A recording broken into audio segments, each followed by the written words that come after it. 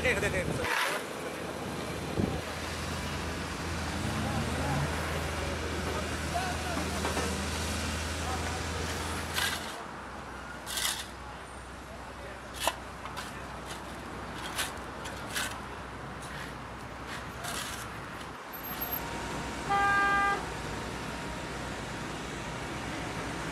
اليوم مديرية مجاري نينوى تقوم بإعمال تبليط آه، مجاري حي بيسان. اليوم بلشنا بالشارع الرئيسي. إن شاء الله اليوم نختم الشارع الرئيسي ويوم غد وبعد غد إن شاء الله نكمل الشوارع الفرعية.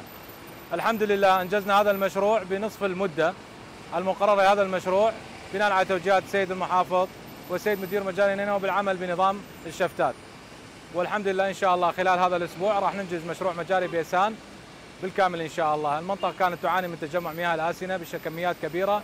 داخل الأفرع ولا يوجد منفذ لتصريف المياه، والحمد لله تمكنا من حل هذه المشاكل وإن شاء الله سوف نحل مشاكل أيضا تجمع المياه في مناطق آه، محافظة نينوى كافة.